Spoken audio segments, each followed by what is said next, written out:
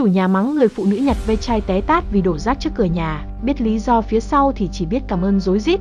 Vụ việc xảy ra tại một chung cư mini. Người phụ nữ treo mũ bảo hiểm rồi vội vã đi vào nhà. Lúc này chiếc cặp đựng máy tính của cô vẫn đang treo trên xe. Có lẽ do quá vội nên người phụ nữ không hề phát hiện ra.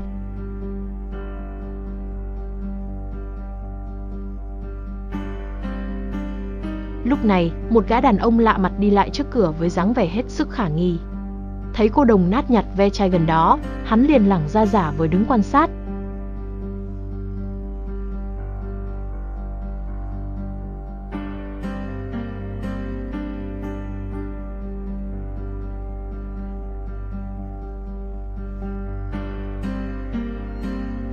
Gã đàn ông đi vào bên trong chỗ để xe máy, Hắn lén lút nhìn ngó và lại gần xem từng chiếc xe.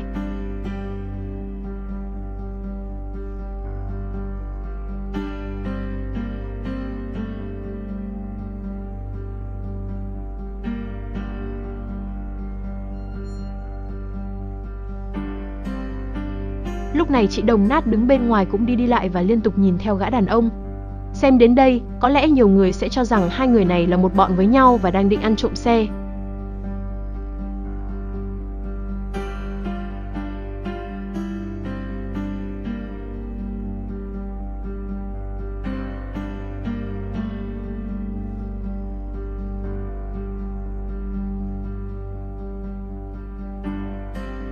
Thế nhưng thực chất cô nhặt ve chai chỉ đang canh chừng gã đàn ông.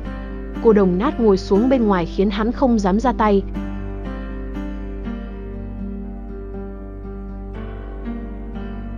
Cô đồng nát đứng ra một góc, gã đàn ông phát hiện ra chiếc túi của người phụ nữ bỏ quên trên xe. Hắn lại gần định lấy trộm. Lúc này, cô đồng nát đổ hết chai lọ trong túi ra ngồi nhặt trước cửa. Gã đàn ông hoảng loạn không dám ra tay,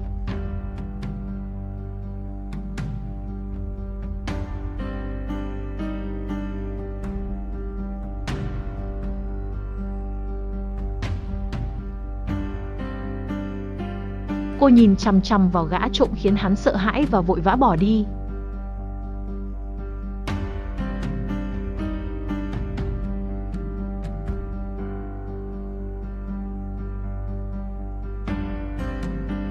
Lúc này, người phụ nữ chủ nhà đi ra, thấy cô đồng nát bày bừa trước cửa nhà mình, người phụ nữ chủ nhà ngay lập tức to tiếng và đuổi cô đi.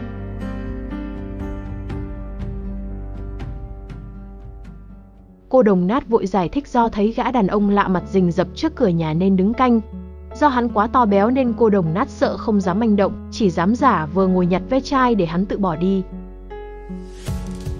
Lúc này, người phụ nữ chủ nhà đi vào trong kiểm tra mới phát hiện chiếc túi laptop mình bỏ quên. Cô vội vã xin lỗi người phụ nữ nhặt ve chai vì đã hiểu lầm. Đúng là không nên vội vã đánh giá và quy kết cho người khác khi chưa hiểu rõ sự việc. Người phụ nữ nhặt ve chai trong câu chuyện này đã giúp đỡ cô chủ nhà khỏi mất mất tài sản.